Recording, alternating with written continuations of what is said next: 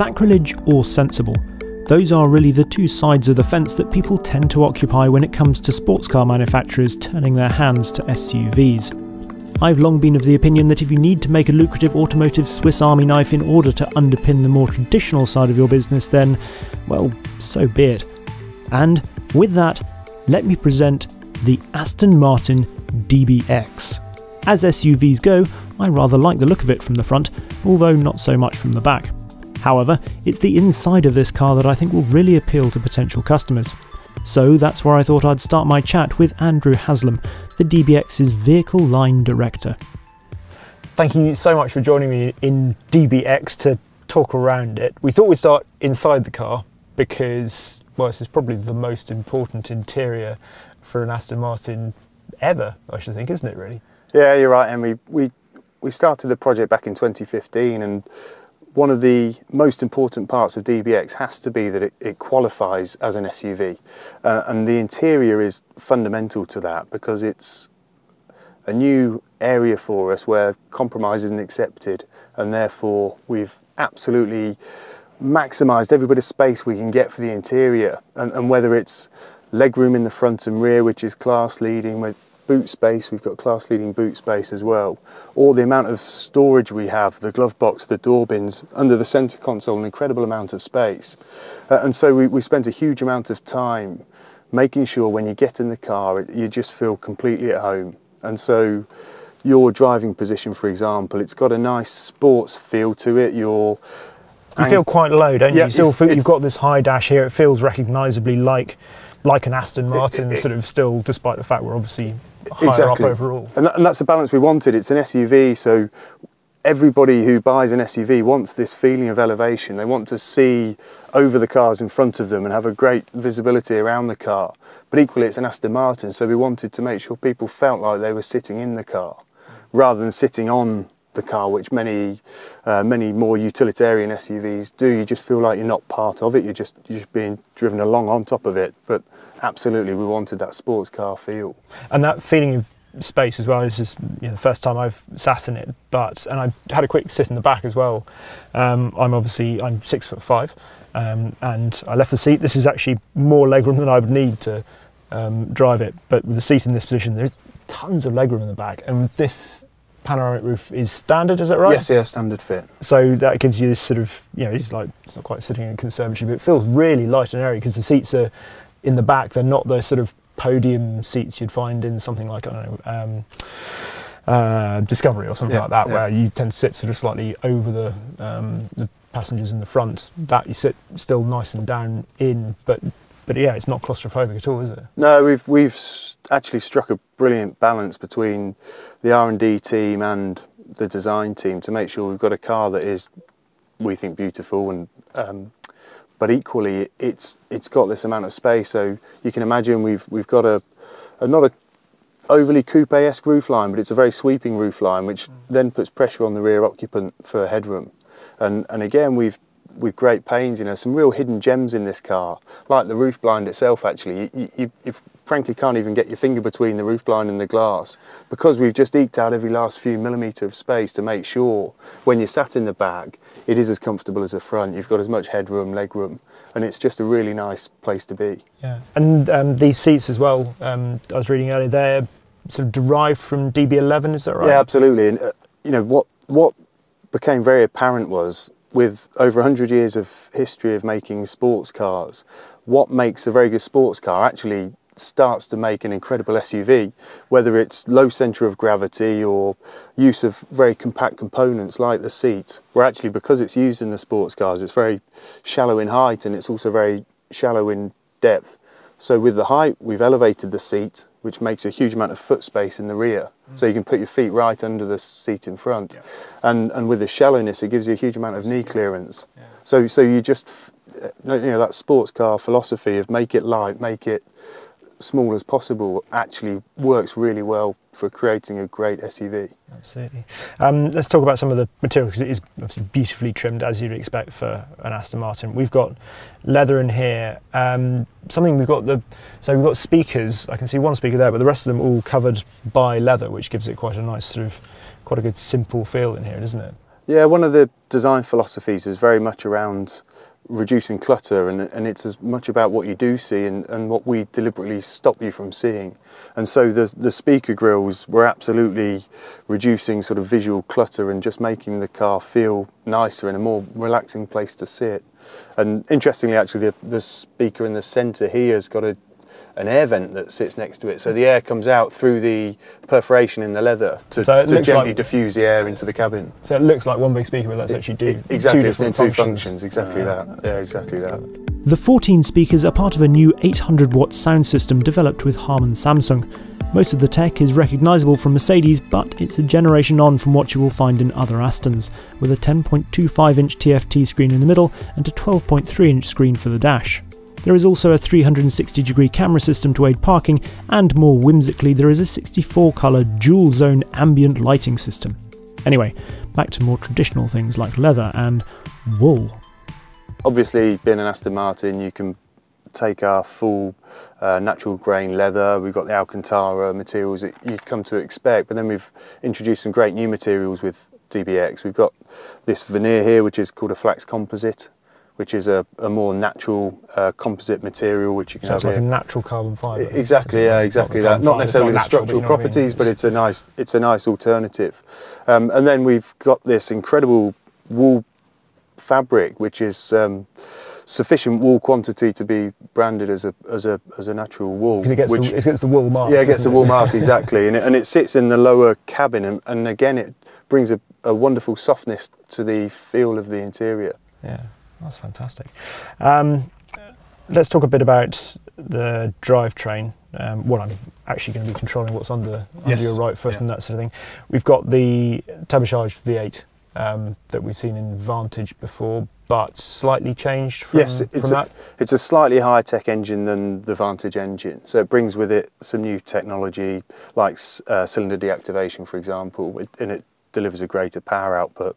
So it's 550 PS, 700 newton meters of torque. So that is mated to a nine-speed transmission. Okay. So first time we've we've had a nine-speed gearbox in an Aston Martin, and actually that pairing's wonderful for this car because it allows you to travel in a very tranquil, calm way if you want to on the motorway. It, you know, it's incredibly low revs when you're doing 70 mile an hour, and and effortless overtaking when you want to. Equally, you can you can work the gearbox and work the rev range, and you get a hugely rewarding sports car all of a sudden. And then in terms of the diffs, presumably you've got centre rear diffs. Yes, for- yeah. Then behind the gearbox, we've got the active transfer case, which is a, an amazing bit of technology, and it lends itself really well to being an Aston Martin SUV technology because it allows us to have almost 50-50 torque distribution front to rear, but when we want it in a more sporting mode, we can go 100% rear-wheel drive. and presumably helping that is the you've got the 48 volts anti-roll system, which we've you know is is now de rigueur really for this sort of car, but Yes. but presumably helps it. Uh, if you want this to behave like a sports car, Yeah, no, exactly. gotta- you've got to have it really. all of these systems work brilliantly well together because behind the transfer case we've then got an eDiff. So so with the car we're, we're able to move the torque fore aft and we're able to move the torque left to right on the rear axle. So again I, I spoke about making sports cars and how actually it lends itself really well to an SUV. Being able to move the torque around is is brilliant for an SUV for grip, but obviously it's brilliant for a sports car as well because you, you, you get that driving character. We've created our own bespoke suspension system with the sole purpose of being a DBX. So it's it's uncompromised. Double wishbones at the front, multi-link at the rear, Yes. and three chamber air suspension. Yeah, triple right? chamber air suspension, and you also mentioned the anti-roll control, the electronic anti-roll control, and we have adaptive dampers. So each of those bits of technology sounds a bit confusing actually, but but if you imagine the air springs, triple chamber air spring, that allows us to do um, different spring rates. So we can adjust the comfort level of the spring rate, and we can also adjust the ride height of the car. So we can go up uh, 45 millimeters in multi-terrain mode, and we can drop down 50 millimeters for easy ingress uh, egress. With the anti-roll control system, it, it's essentially a, a split in the middle of the anti-roll bar, and we've got a 1400 newton meter uh, system that prevents body roll. And, and 1400 newton meters, put it in context, is, is about 50% more than some of our competitors have. So for every G of cornering, we can maintain less than half a degree of body roll. Some of our competitors may be 1200 front, 900 rear, which which means they're less precise in how they control the body, and, and, and, maybe at times we notice some of their cars don't control their body roll as well as as well as we want to. Yeah. So you combine those technologies of electronic anti-roll control, triple chamber air suspension, and a bespoke suspension geometry, and, and you get a car that drives like a sports car when you want it. Equally, you know, we're in a nice calm cabin. Again, on the motorway, it rides incredibly smoothly when you want it to and then through the touch of the, the mode switches you can transform that character. Because we've got different modes here obviously compared to um, say a Vantage or whatever, we've yes. got terrain terrain modes. I, exactly, and, and with DBX what we what we're very conscious of is we, we maybe bring a slightly less technology savvy or technology interested customer. And so we've got all this incredible technology on the car and we want to make sure people can use it and it's accessible. So with the sports cars you're able to change the engine and gearbox with one button and you're able to change the suspension setting with another and the slip control systems with another button. With DBX you simply move up and down the modes and, and it puts the car into the best um, positions possible to, to get the most out of the car. Should we go outside and have a look at the design and some of the aero and stuff like that? Sounds good. Cool. Whilst we extract ourselves from the car, here are a few more hard facts about the DBX. It has a 0 to 60 mile an hour time of 4.3 seconds and a top speed of 181 miles an hour. More unconventionally for an Aston, it has a curb weight of 2,245 kilos, a wading depth of 500 millimeters, and can tow up to 2,700 kilos. You'll also be able to spec your DBX with a number of packages, such as the Pet Pack, which comes with a portable washer, which might be good for mountain bikes too, or the Snow Pack, which supplies you with boot warmers for those cold January trips to the mountains. Anyway, back to sunny Spain.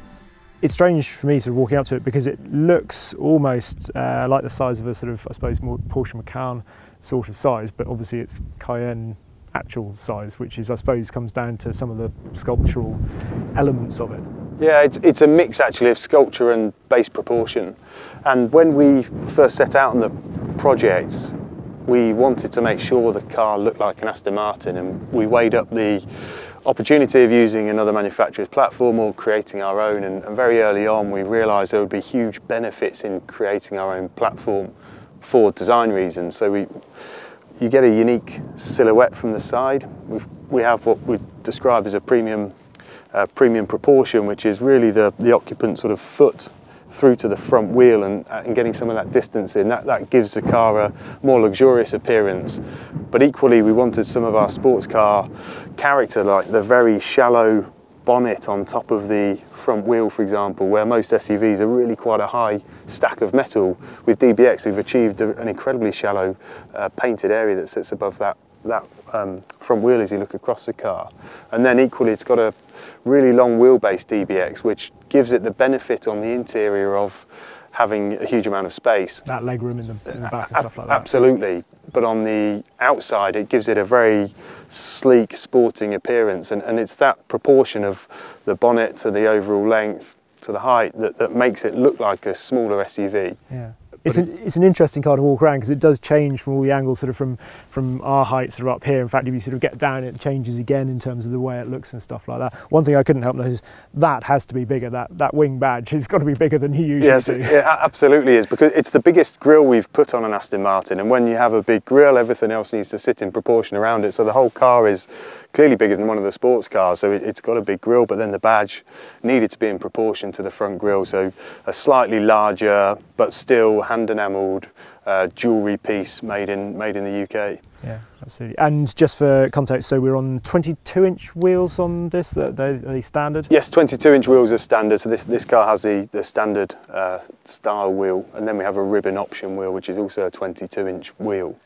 Absolutely, and we're 285s and 325s on the back. That's right. We've got a we've got a definite rear bias on tyre width to help with that with that dynamic character we yeah. want. You know, we've got huge amounts of torque we can put to the rear axle, so the you can change the, the character of the car and, and the tyre width rear to front helps us with the dynamic character that we want. And do you have different tyre options, presumably, given given the range of things this can be, and it's going to presumably be in different climates and stuff all over absolutely, the world? Absolutely, yeah. Markets you, you want to go into? Absolutely, European markets. We've got a summer tyre as standard, an amazing Pirelli P Zero tyre, and we have then a winter option. And in North America, snowbelt type areas, we've got a, an all-terrain tyre, which is which is good all year round.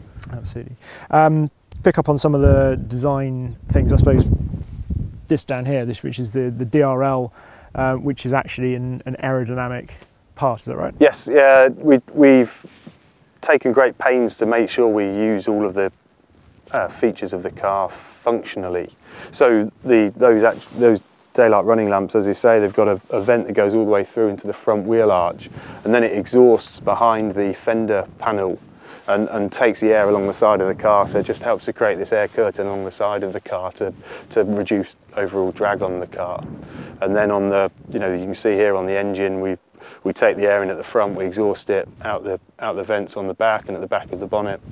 And then when we look over the whole car, we've got an, a, an incredibly neat trick on the rear of the car, which again, it, it looks quite simple, but actually it's simple because we took so long to create the system. So the air travels along the roof and then the rear wing actually drives air down the rear screen, which makes sure that rear screen self clears of water.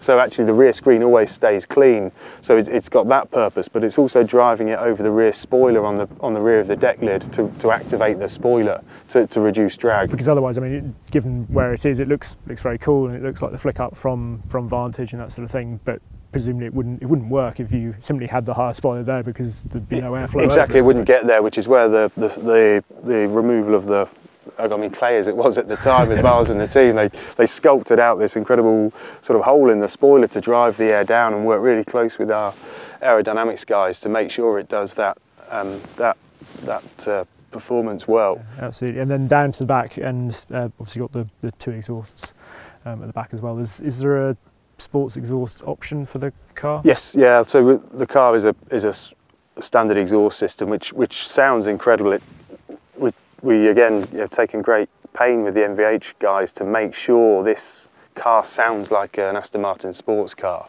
and it's a balance of um, the full frequency range and really Aston Martin's sound character has a bit of a bias towards mid-frequency. So the V8 naturally is quite a low frequency sounding engine and with the exhaust tuning and shape we've, we've increased that mid-frequency to give it more of an Aston sound character. But then you can have a sports exhaust which you know, as a, as a driver just sounds incredible. They both sound incredible, but one is just a, a louder and more uh, sporty version. And you've got the gas particulate filters on. Yes, on exactly. Yeah. again, another really neat bit of technology where it, it's meeting the emissions requirements, but we've designed it in such a way that it doesn't suppress the sound quality of the car. I'm excited to drive it. I'm intrigued by it. What is what is an Aston Martin SUV going to drive like? So hopefully we'll find out fairly soon. For something that is such a departure from the norm for Aston Martin, it feels like the company has done a remarkably good job. At £158,000 or $189,900, the DBX is certainly at the luxury end of the SUV market, but I think the interior lives up to that. The final piece of the jigsaw is, of course, how it feels on the move, but if it drives as well as claimed, then perhaps it won't be branded as either sacrilege or sensible, but simply seen as an Aston Martin. That would surely be the ultimate accolade.